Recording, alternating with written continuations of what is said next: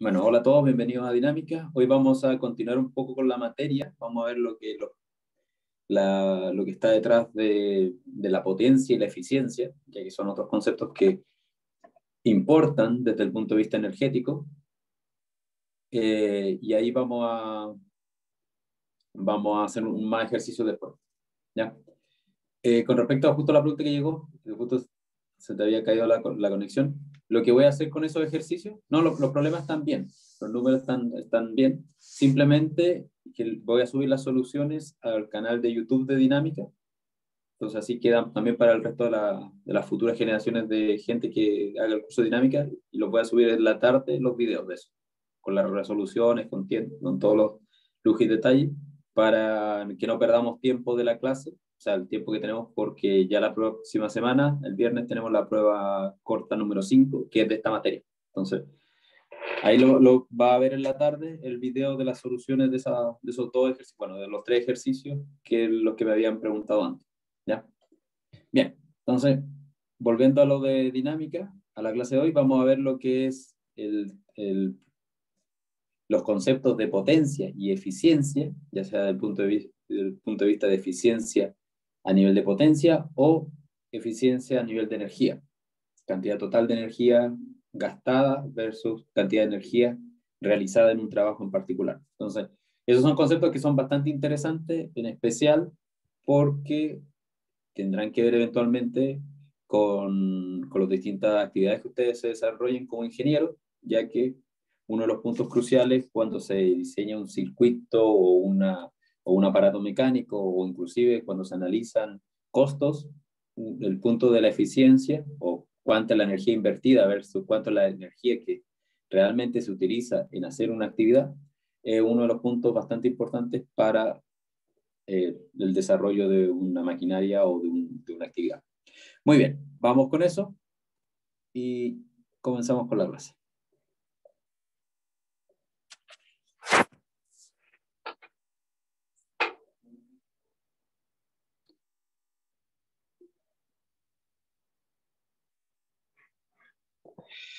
Bien, entonces, eh, estábamos viendo, bueno, tenemos varios ejercicios para, habíamos visto lo que era la energía de sistemas de partículas, etc. Tenemos varios ejercicios para ir realizándolo y los vamos a hacer, pero primero vamos a terminar con la materia. Perdón, un poco estaba agastado.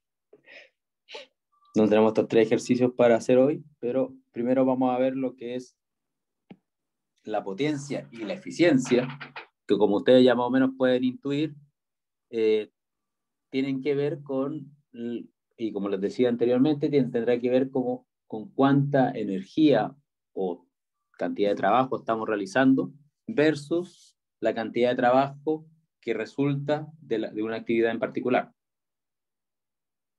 Por ejemplo, de un punto de vista más, más práctico, cada vez que ustedes cargan el teléfono, desde, desde el, con el cargador del USB, lo que sea, en ese, en ese contexto, ustedes pueden considerar la cantidad de energía que necesita el teléfono para que cargue su batería versus la cantidad de energía que utiliza el teléfono, ya que debido a la carga y descarga de la batería va a haber un poco de energía que se va a disipar en forma de calor, que no va a ser un, una, una cantidad de energía que va a realizar un trabajo útil para la actividad que ustedes están realizando. Entonces, la eficiencia va a estar relacionado que la cantidad de energía que se le da a un sistema tiene que ser lo más cercana a la cantidad de energía útil que se utiliza para realizar una actividad. Ya lo había mencionado varias veces.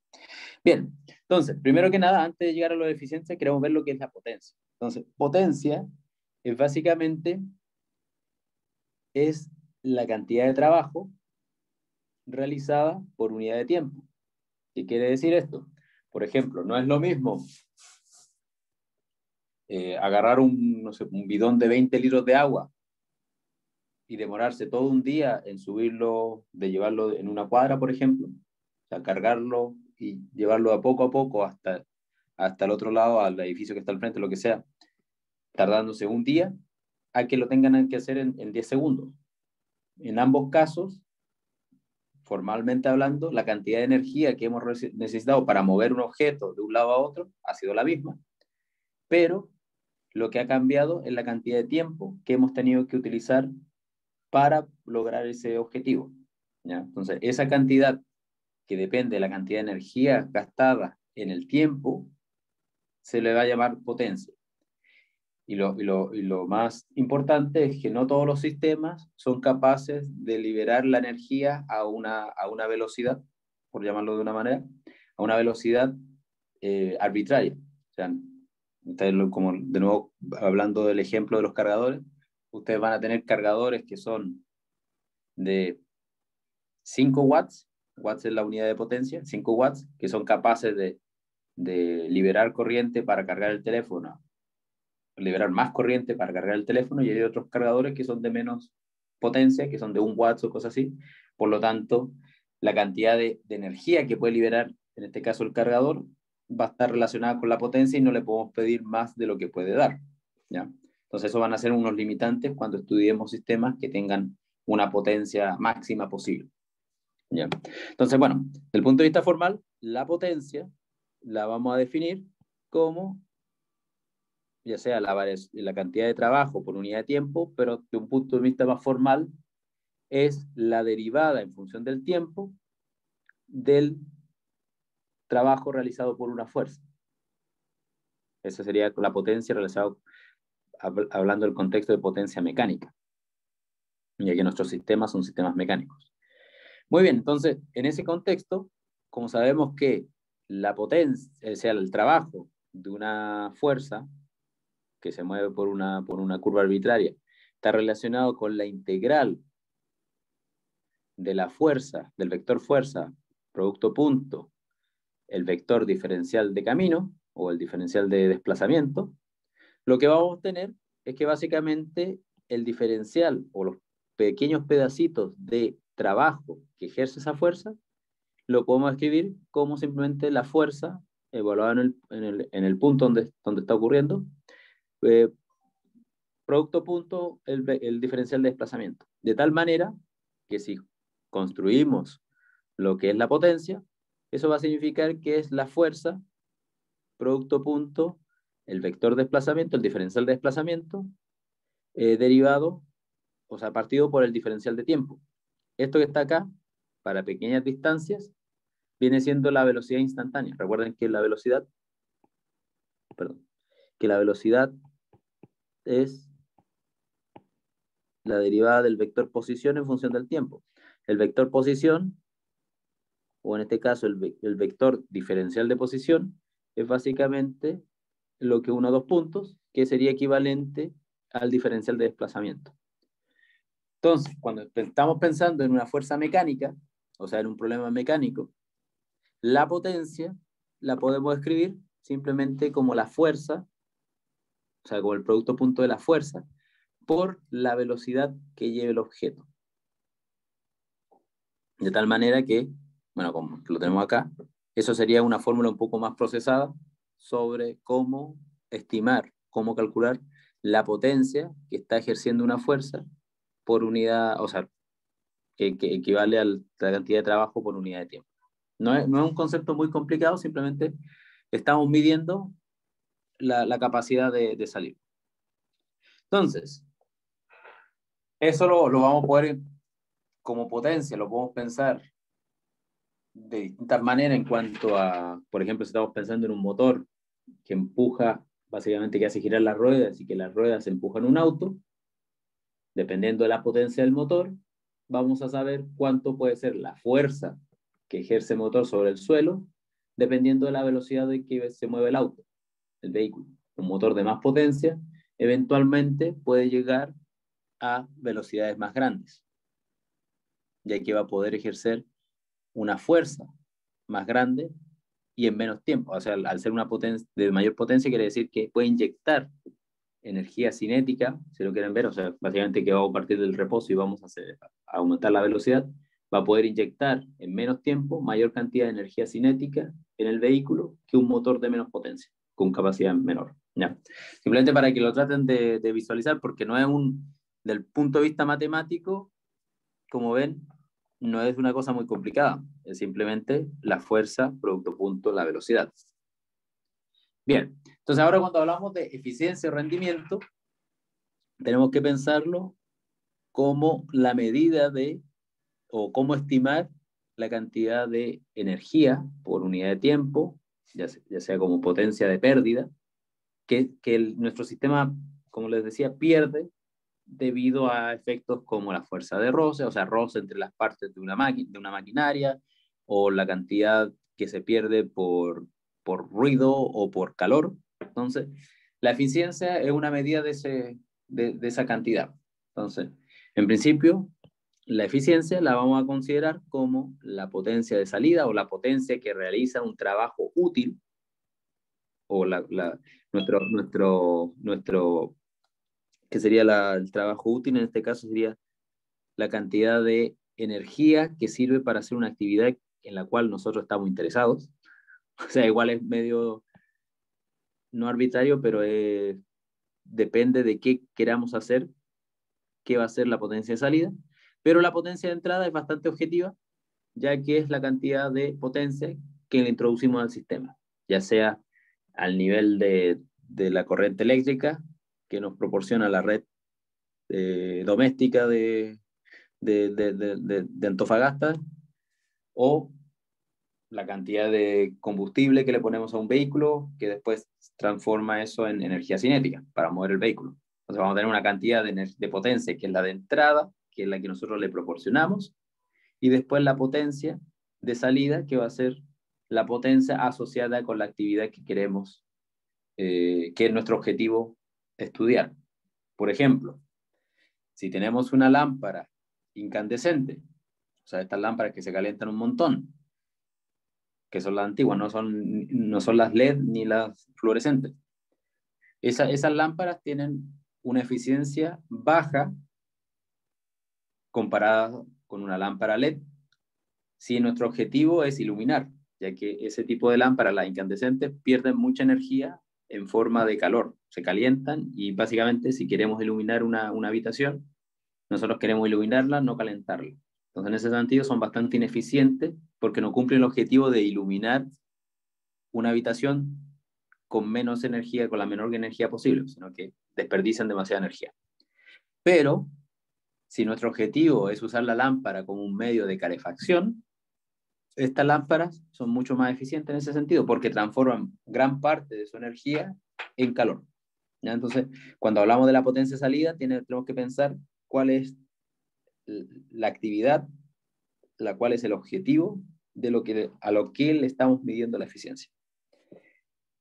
Bien, entonces en este caso, la potencia de salida lo vamos a pensar como la cantidad de trabajo por unidad de tiempo, también dividido por la cantidad de trabajo de entrada por unidad de tiempo. Entonces, si nos damos cuenta, podemos simplificar las cantidades de las derivadas y en ese sentido la eficiencia también la podemos calcular, ya sea en términos de las potencias, pero también las podemos calcular en términos del trabajo, mientras que el trabajo lo midamos en la misma cantidad de tiempo las eficiencias van a ser equivalentes. Entonces, como les decía, la eficiencia ya sea, puede ser la potencia de salida partido por la potencia de entrada de un sistema o el trabajo realizado de salida, o sea, de objetivo, partido por el trabajo de entrada o el trabajo realizado, pero ambos medidos en la misma cantidad de tiempo, ya que para que sea comparable. Entonces, en ese sentido, estos conceptos también son bastante simples de, de, estudiar, y de, pero lo mejor es tratar de visualizarlos, en este caso, en un ejercicio, para que no queden como conceptos demasiado abstractos. Entonces vamos a hacer un ejercicio o uno o dos ejercicios de, de, de, eficiencia y después vamos a hacer otro ejercicio repasando toda la unidad, ya que básicamente hasta acá es lo que entra para, el, para la prueba 5 de la próxima semana. Entonces, Simplemente ahora tenemos que ejercitarnos. Muy bien, entonces vamos a hacer este, el 14049. 14049, lo tengo acá. Entonces, digamos, el, enunciado nos dice que un cohete de 8.000 kilos, o 8 toneladas de masa, despega verticalmente desde el reposo. Si todos los motores proporcionan un empuje de T igual 300 kN, determinan la potencia de salida de los motores en función del tiempo. Te expresa los efectos relacionados a la resistencia del aire y de la pérdida de masa. Entonces digamos que tenemos este cohete y este cohete tiene, como les dice acá, una, un empuje. Eso quiere decir que eh, tiene una, lo estás, está viendo empujado por una fuerza de 300 kilonewton. Y lo que nos preguntan es ver eh, cuál es la potencia de salida, o sea, cuánto es la cantidad de energía que realmente están utilizando los motores para poder mover al, cohete. Una es la cosa, es la cantidad de fuerza que ejerce el motor, y lo otro es cómo el cohete se mueve debido a esa fuerza. ¿Ya? Muy bien. Entonces, en este caso, nos están diciendo que el cohete solo es afectado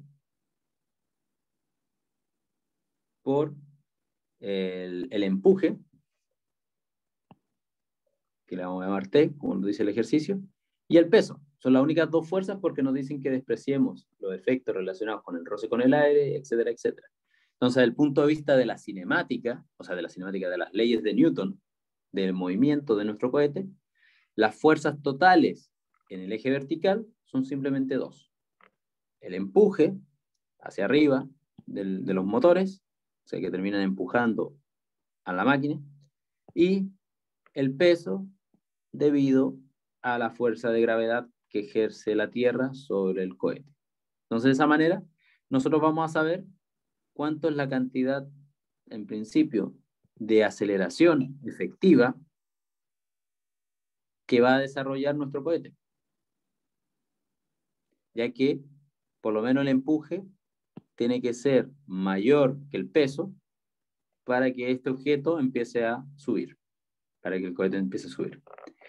Bien, entonces de esa manera nosotros vamos a calcular, nos están preguntando en el caso específico cuánto es la potencia, por lo menos la potencia de entrada del cohete y la potencia de entrada del cohete en este caso va a ser, como recién lo vimos, la potencia va a ser la fuerza por la velocidad del objeto. Entonces, en este caso, la potencia asociada a la, al empuje viene dado por el producto punto del empuje, producto punto eh, con, con la velocidad. En ese escenario, básicamente nos está diciendo que la potencia es una potencia positiva ya que el empuje y la velocidad del cohete, porque imagínense que el cohete está despegando, o sea, se está moviendo hacia arriba, tiene una velocidad que apunta en esa dirección, más el empuje que apunta en esa dirección, entonces el producto es una cantidad positiva, y por lo tanto tenemos que la potencia asociada al, al empuje viene dado simplemente por eh, el valor de la, del empuje por la velocidad. Todavía no sabemos cuál es la velocidad, porque lo, la tenemos más o menos, la podemos intuir debido a la eh, a las ecuaciones de movimiento que están asociadas con, con esa cantidad que está ahí, con la segunda ley de Newton. Bien, entonces, desde la ecuación de movimiento, que es básicamente la segunda ley de Newton, la suma de la fuerza igual a la masa por la aceleración, en este caso en la dirección vertical, tenemos, tenemos que eh, la aceleración que desarrolla nuestro objeto, nuestro cohete, es una aceleración constante. Eso quiere decir que a medida que, eh, independiente del tiempo que suceda, siempre está acelerando con la misma cantidad. Y por lo tanto eso nos permite estimar la velocidad en función del tiempo ya que si, como el cohete parte del reposo, la velocidad en función del tiempo solamente va a ser la aceleración por el tiempo. Recuerden la ecuación de cinemática, cuando el movimiento es uniformemente acelerado, la velocidad es igual a la velocidad al tiempo cero más la aceleración por el tiempo. ¿Eso qué va a significar? Que nuestra velocidad, que nuestra velocidad va a ser básicamente T partido por M menos G, que viene siendo la aceleración, por la cantidad de tiempo que ha transcurrido. Eso significa que la potencia de nuestro cohete va a ser que esté por la velocidad de nuestro cohete, va a ser simplemente eh, esta cantidad que está acá, t por t partido por m menos g, por el tiempo, y por lo tanto vamos a saber que la potencia de nuestros cohetes, de nuestro cohete, por el empuje, va a ser básicamente, bueno, esa cantidad, que hay que pasarlo a kilonewton y etcétera, que traducido en tiempo, que traducido en unidades de, que traducido en, números y en, y en, unidades MKS, o sea, unidades internacionales, nos va a quedar 300.000 por día a la 3, que son los 300.000 kilonewton. Eh, el T también que aquí es 300.000, o sea, 300 por día a la 3, partido por los 8.000, que es la masa, menos los 9,81, que es la aceleración de gravedad. Y por lo tanto, a medida que más tiempo pase, la aceleración va a ir creciendo más. Entonces, esto, esto nos está diciendo que la potencia de nuestro sistema va a ser básicamente 8.307 por día a la 3 por tiempo, joules partido por segundo. Entonces, de esa manera, estamos viendo cómo el cohete eh, logra avanzar. O sea, a medida que más tiempo pase, la potencia de los cohetes va aumentando, o sea, la, la potencia va aumentando porque la velocidad de nuestro cohete va aumentando, ya que nuestro cohete se mantiene acelerando. Entonces es un, un punto bastante interesante para ir entendiendo qué está pasando con nuestro, con nuestro cohete. A ver, o sea, este problema es básicamente aplicar potencia igual fuerza por velocidad salvo que la velocidad ahora depende de nuestro sistema, o sea, de nuestro, del movimiento del cohete en sí.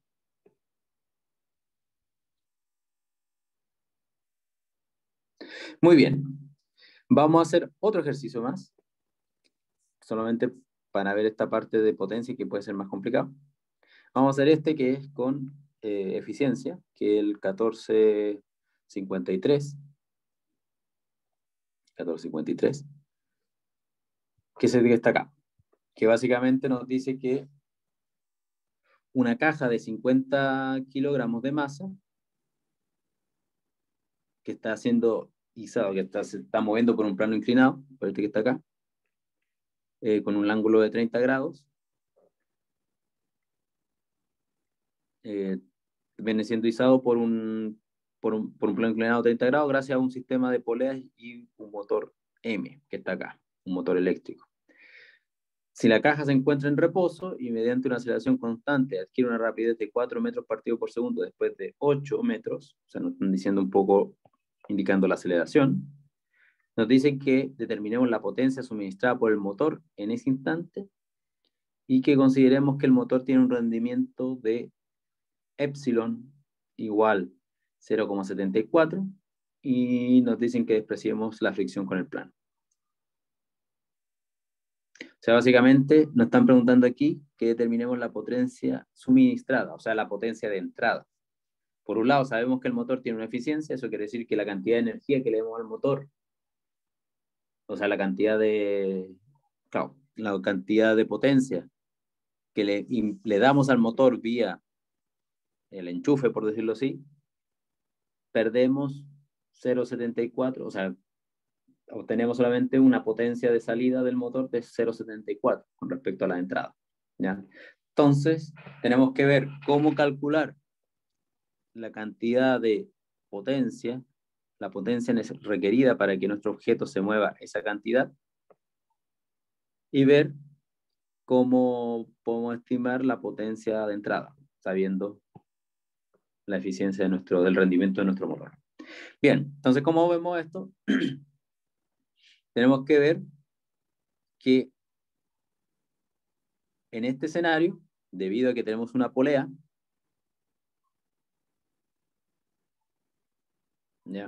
debido a que tenemos una polea, la potencia de salida, que quiere decir la potencia necesaria para mover la caja, está siendo básicamente dos veces Fm, que es la fuerza relacionada en este caso con la tensión de la cuerda, por la velocidad de la caja.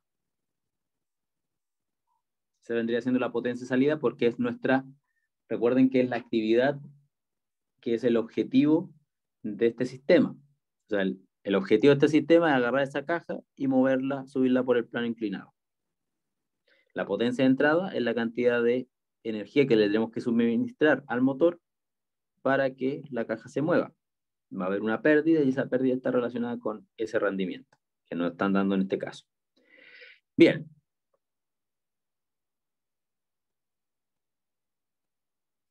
Bien, entonces en este escenario, nosotros tenemos, ya sabemos que debido a que estamos en una polea, la tensión es de la cuerda aparece dos veces sobre nuestro sistema. Entonces tenemos dos veces la fuerza que ejerce el motor por la velocidad de la caja con la que se mueve. Y por lo tanto, ya sabiendo eso, sabiendo cuánto es la cantidad de fuerza que se está aplicando sobre la caja, que es debido a la polea, sabiendo cuánto es la proyección del peso sobre la dirección que es paralela al plano inclinado, que esto básicamente lo hemos visto varias veces con, con las leyes de Newton, básicamente cada vez que tenía un plano inclinado. Entonces tenemos que esto es dos veces la tensión, donde la tensión es igual a la fuerza que ejerce el motor, por eso le pongo un FM. Eh, esto es la proyección del peso y tiene que ser igual a la masa por la aceleración que desarrolla nuestro, nuestra caja en el plano inclinado. Entonces, de esa manera, de nuevo aquí vamos a poder medir y estimar la cantidad de, de movimiento o la velocidad que es necesario para calcular la potencia. Entonces, básicamente, de aquí tenemos la masa por la aceleración. Y como nos están diciendo también que la aceleración es constante en nuestro en nuestro caso dice que adquiere una, mediante una aceleración constante, adquiere la rapidez de 4 metros por segundo después de 8 metros. Entonces ahí vamos a poder determinar cuánto es la aceleración. Entonces vamos a ver qué podemos hacer. Entonces, primero que nada, como nos dicen que una aceleración constante y que parte del reposo, vamos a estudiar primero la cinemática. Sabemos que en ese escenario, la velocidad en función del tiempo tiene que ser la aceleración por el tiempo transcurrido, la posición en función del tiempo va a ser básicamente la aceleración por el tiempo al cuadrado, la aceleración partido por 2 por el tiempo al cuadrado, debido a que parte del reposo y vamos a asumir que estamos considerando que va a transcurrir los 8 metros con respecto a un punto de referencia, que era cuando estaba en reposo, que corresponde al origen de nuestro sistema. Entonces, básicamente con esto, lo único que estamos obteniendo, si simplificamos, tenemos eh, queremos obtener la aceleración y nos dicen cuánto es la velocidad y la posición que tiene que recorrer, entonces podemos resolver este sistema debido a que esto que está acá van a ser 8 metros y esto que está acá van a ser 4 metros partido por segundo, eh, si no me equivoco, 4 y 8. Entonces de esa manera, al resolver el sistema, lo que vamos a obtener, simplemente no hay que complicarse mucho con esto, lo que vamos a obtener es que la aceleración va a ser igual a la velocidad al cuadrado partido por dos veces la distancia recorrida, que son estos 8 metros. Entonces ya con eso nos da una información súper importante porque eh, vamos a poder introducir esta información en nuestra ecuación de movimiento ya que vamos a conocer cuánto es la aceleración, que es lo que necesitamos para saber estimar la velocidad, perdón. Entonces, en ese caso, vamos a poder, al introducir esta información en la ecuación de movimiento, vamos, nos va a dar primero que 2M, 2FM va a ser igual a la masa por Recuerden que esto es la aceleración y esto que está acá es menos mg seno de teta, pero con el m que lo mandamos afuera. Por eso sale eso. Y básicamente lo que estamos teniendo es, estamos considerando cuánto es la fuerza de nuestro sistema. Base, en base solamente a que la caja se desplaza 8 metros y que cuando está en los 8 metros lleva una velocidad de 4 metros partido por segundo. Entonces, de esa manera, como ya sabemos que para calcular la potencia de salida necesitamos eh, la necesitamos la fuerza y la velocidad. Entonces, en este caso, la potencia de salida va a ser simplemente dos veces la fuerza, dos veces Fm, que significaría eso partido por dos, o sea, por dos, entonces nos van a ir los dos de ahí. Lo que está dentro sigue estando acá. Y multiplicado por la velocidad, que es la que desarrolla el, el cuerpo en ese instante.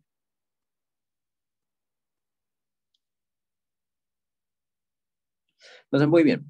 Entonces, hasta en este instante necesitamos saber las cantidades de, relacionadas con el ejercicio, que en este caso son que la caja pesa, tiene 50, 50 kilos de masa, la distancia que recorrió son 8 metros, la velocidad son 4 metros partido por segundo, el ángulo eran 30 grados y la constante de gravedad, la aceleración de gravedad es 9.81. Entonces, en ese sentido, todo tranquilo, simplemente tenemos que reemplazar para que sepamos cuánto es la potencia necesaria.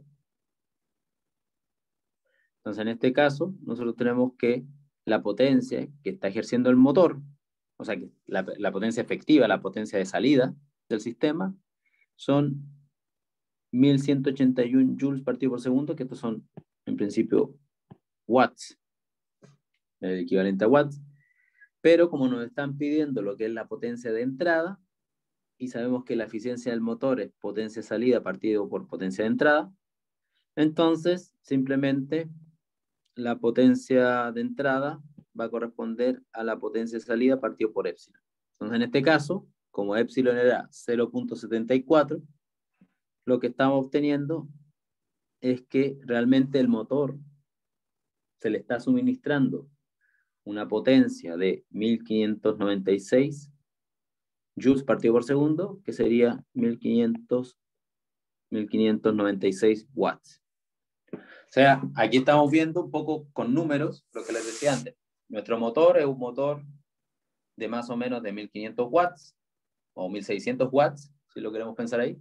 Entonces, del punto de vista de la, de la boleta de la electricidad, nosotros estamos teniendo un aparato que está consumiendo 1600 watts, pero el trabajo mecánico que está realizando finalmente es de, tenía acá abajo, aquí, es de 1181 watts, 1200 watts. Entonces tenemos de 600 a 200 y 400, estamos perdiendo 400 watts que se está yendo, energía que se está disipando de alguna manera, puede ser perdiendo a nivel de forma de calor o ruido o cualquier otra forma de pérdida que tiene el motor que tiene que ver, que no es útil para el trabajo del cual nosotros estamos haciendo énfasis en este caso, que es mover la caja por el plano inclinado utilizando la polea. ¿Ya? Entonces, eso es un punto bastante interesante para considerar cuando ustedes más adelante como ingeniero hagan estudios de este estilo. Cuánto es la cantidad de energía que está consumiendo el aparato y cuánto es la cantidad de energía que realmente se está utilizando para hacer el trabajo que se le está pidiendo a la máquina. ¿Ya? Bien, entonces, como les decía, esto es la unidad, con esto terminamos la unidad. Simplemente ahora vamos a hacer ejercicios, porque los problemas de trabajo y energía son más o menos iguales en todos los casos son bastante estándar. Entonces lo que vamos a hacer ahora, vamos a hacer otro ejercicio, pero vamos a empezar desde, desde el, inicio de la unidad para ir eh, viendo y refrescando los conceptos que hemos visto con el, en el curso.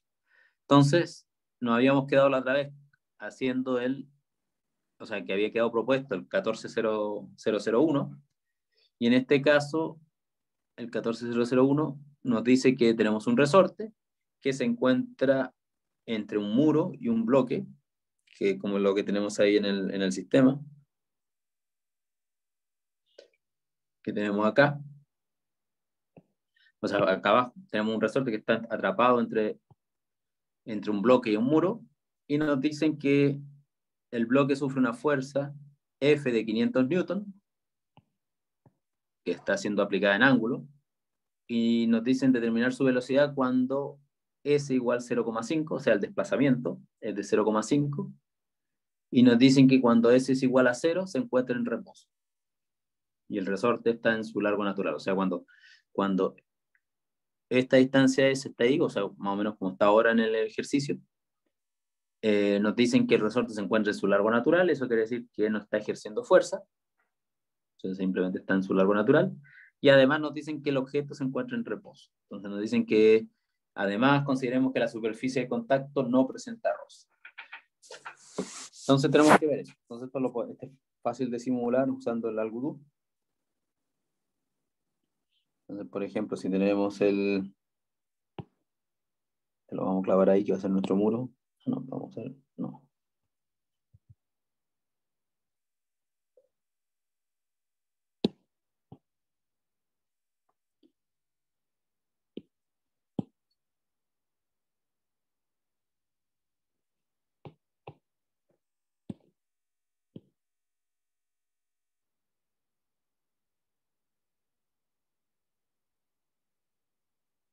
Por ejemplo, ahí tenemos el resorte. Voy a quitar el roce que nos dicen. Cero roce. Y entonces en el sistema, básicamente nos están diciendo que nuestro resorte se encuentra en el largo natural, que en este caso es lo que está ahí, y que se aplica una fuerza. Entonces, nos están diciendo que se aplica una cierta fuerza, no sé, en un cierto ángulo. Aquí lo puse a 45.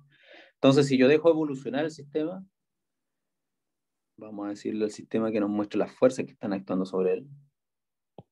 Eh, fuerzas. Entonces podemos ver aquí que en primero que nada tenemos las fuerzas que son las verticales debido al peso y a la, a la fuerza de reacción que ejerce el suelo, pero también tenemos la fuerza asociada con esta flechita que está en diagonal.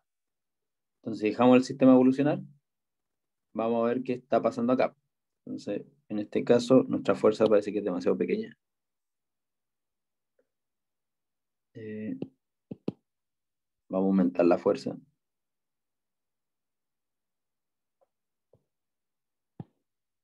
Y creo que... Ahí sí.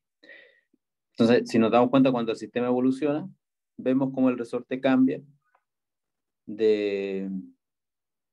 Cambio su largo, voy a, voy a sacar mejor esa fuerza para que el resorte vuelva a su posición normal. Sí. Le vamos a quitar alguna de las propiedades del resorte. Vamos a quitar el factor de damping. Ahí sí. Entonces vamos a poner de nuevo nuestra fuerza. Y lo vamos a pintar esto para ver el...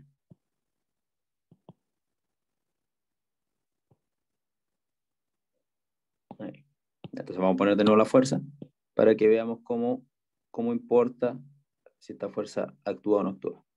Entonces nos damos cuenta que debido a que existe esta fuerza que está empujando al bloque y al resorte, tenemos que nuestro objeto está, está, se está desplazando. Lo podemos ver ahí con la línea azul que se está moviendo. Si yo cambio la dirección de mi fuerza,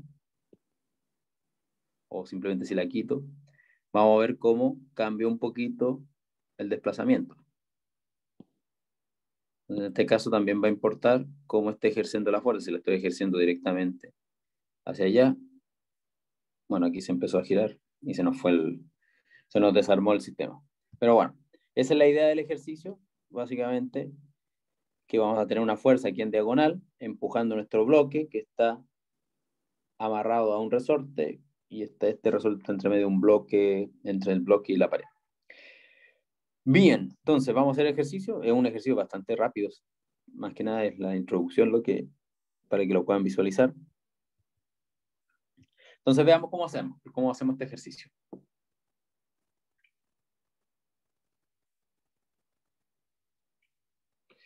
Bien, entonces, primero que nada, tenemos que ver lo que nos están preguntando, que es que tenemos que determinar la velocidad del bloque cuando haya recorrido 0,5. Entonces, en este caso, vamos a ver eh, cuál es el trabajo que, que, se está realizando debido a la fuerza que se está aplicando. ¿Ya? ya que, sea como sea, eh, la fuerza, al generar un desplazamiento de nuestro bloque hacia la derecha, va a tener un trabajo asociado. Muy bien, entonces en este caso nosotros sabemos que el trabajo, y en este caso el trabajo que va a estar asociado a, ese, a la fuerza que se, que se aplica en diagonal, se va a manifestar solo en un movimiento horizontal.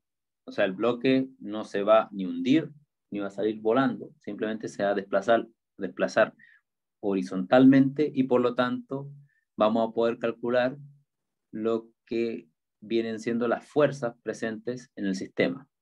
Entonces, si consideramos las fuerzas totales del sistema, es básicamente la fuerza aplicada, donde en este caso estamos considerando, para eso mejor nos vamos a ir al borrador porque ahí va a ser más, menos complicado. Hoy estamos a...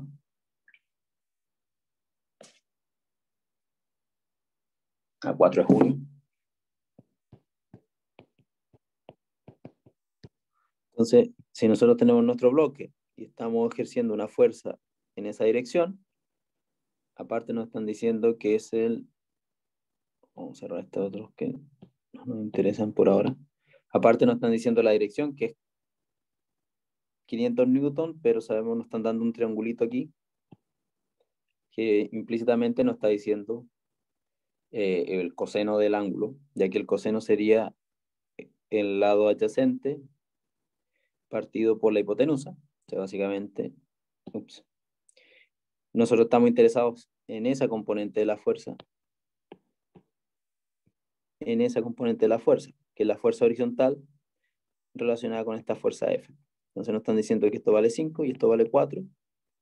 Entonces, por lo tanto, la fuerza aplicada en el eje X, asociado con, con la F grande, con la fuerza aplicada, es el módulo de la fuerza por 4 quintos. Que eso vendría siendo el, si es el ángulo teta, eso vendría siendo coseno de teta. ¿Ya? Simplemente para que tengan claro eso, de dónde sale ese factor 4 quintos. Bien. Y esto es la fuerza aplicada. Y por otro lado tenemos la fuerza del resorte, que ya sabemos que la fuerza del resorte va a ser, si nosotros comprimimos el resorte, o sea, si nuestro resorte se mueve hacia la derecha, eso significa que el resorte va a ejercer una fuerza hacia la izquierda. Por lo tanto, en este escenario, nosotros vamos a tener una fuerza que es menos la constante resorte por el desplazamiento S con un signo menos. Recuerden, eso, eso es importante cuando cada vez que tenga un ejercicio con resorte, es darse cuenta que, vamos a poner ahí otro, otro par de bloques que tenemos, clavar, este le vamos a poner un resorte. Entonces, por ejemplo, como nosotros estamos midiendo el desplazamiento, Entonces, cada vez que nosotros empujemos nuestro resorte, si se dan cuenta, el resorte empuja, empuja hacia la izquierda, por lo menos negativo. Si nosotros estuviéramos tirando del resorte, o sea, y estuviéramos yendo a valores de S que son negativos, el resorte empujaría para el otro lado. Entonces, ahí pueden ver un poco cómo afecta al resorte del sistema. Si lo movemos para allá o si lo movemos para allá. En ambos casos, esta cosa, bueno, en este caso se puso a girar, pero más o menos pueden pensar cómo se va a mover el sistema. Bien, entonces eso es importante porque aquí estamos describiendo lo que es la suma de las fuerzas en el eje X. ¿Eso en qué se va a traducir? Primero que nada, que la suma de las fuerzas en el eje X va a ser 400, que es la fuerza que eran 500. F era 500, entonces 500 por 4 dividido por 5 nos va a dar 400 y la, y la fuerza asociada al resorte, ya que nos dicen que la constante del resorte es 500. Entonces nos va a quedar 400 menos 500 por S. Ahora, el trabajo realizado por todas estas fuerzas que están en el eje horizontal se van a reducir básicamente a hacer la integral entre 0 y 0,5, que es nuestra distancia o nuestra compresión de objetivo, eh, igual a 400 menos 500 por S. Integrado sobre ds va a ser súper fácil porque esto es constante y esto es integral, e integrar S de S, de tal manera que al hacer la integral, la parte constante nos va a tirar 400 por el delta S, que en este caso es 0,5, ya que es el límite inferior de integración es 0 y el límite superior de integración es 0,5, entonces nos va a quedar 400 por 0,5. Y después tenemos menos un medio, que viene siendo la integral, la integral de S por S, S de S. Vamos a poner aquí.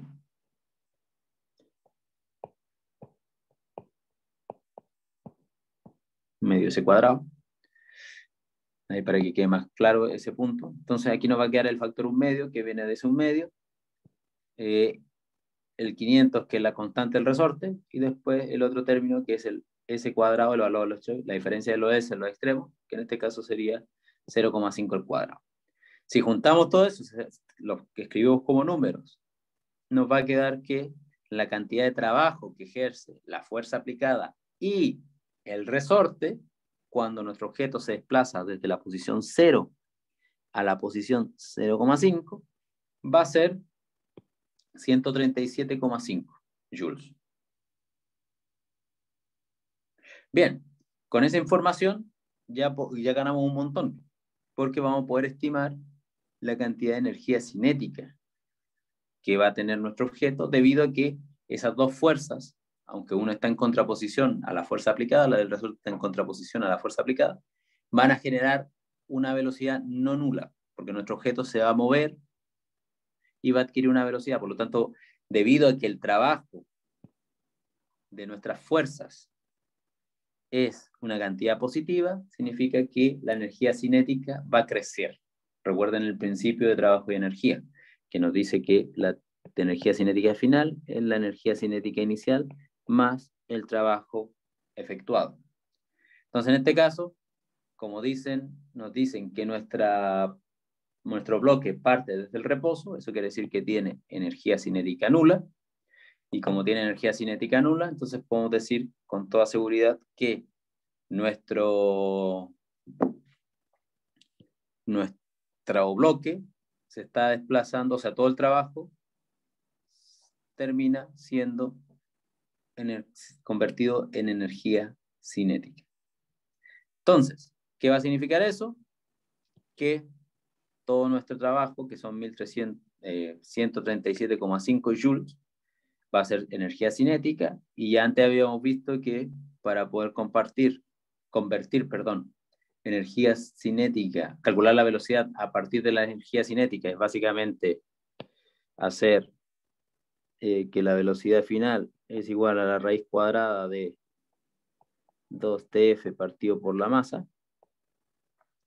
Entonces, eh, haciendo esa conversión, nos va a quedar que la energía cinética final es 137, que es igual al trabajo, por 2, partido por la masa, que son 10 kilogramos, le sacamos la raíz cuadrada, y nos dice que la velocidad final son 5.244 metros partido por segundo. Y así se resuelve este ejercicio. Si se dan cuenta, no es tan complicado matemáticamente y es una de las ventajas que tienen los problemas que tienen que ver con trabajo y energía. Matemáticamente son mucho más sencillos que cuando hay que resolver la ecuación de movimiento vía la segunda ley de Newton o cuando vimos las ecuaciones de torque o de momentos de fuerza. Entonces, en este sentido, es mucho más sencillo tratar de resolver estos problemas según sacando un poquito provecho a que la energía mecánica se conserva si es que las fuerzas que están presentes son no conservativas. O sea, son conservativas, perdón. Si fueran no conservativas, habría que tomar todo por, con, otro, con, otro, con otra perspectiva. Muy bien, entonces, vamos a dejar la clase hasta acá. El, lunes vamos a, hacer ejercicios de... Ah, mira, parece que hay una pregunta, o no sé. Ah, no, era solo clase. El, el lunes vamos a seguir con, con la materia, o sea, no con la materia, vamos a hacer ejercicios sobre esto para que nos preparemos para la prueba corta número 5. Y el martes, lo más probable es que o hacemos ejercicio, tal vez hagamos ejercicios que tienen dudas, podemos seguir haciendo ejercicio, o ya empezamos con la siguiente unidad porque ya se nos está acabando el semestre, de hecho, nos queda más o menos como un mes para que se acabe el semestre y por lo tanto para que se acaben todas las unidades del, del curso y tengamos que hacer el resto de la, las pruebas cortas y la prueba final que viene. Entonces, más o menos para que se vayan también preparando para, para acabar el semestre de la mejor manera posible. Muy bien, entonces, eh, voy a parar la grabación aquí. Si tienen dos preguntas, lo podemos ver. Como dije, los ejercicios de la prueba que, estaba, que me habían preguntado, los voy a subir al canal de dinámica para que estén atentos a ese canal. Que hay con la solución un poquito más desarrollada y con, sin tanto, con, o sea, para que también quede para, para futuras generaciones de personas que sigan el curso de dinámica y de esa manera todos sacamos mejor provecho al curso. Muy bien, ahora sí paro la grabación.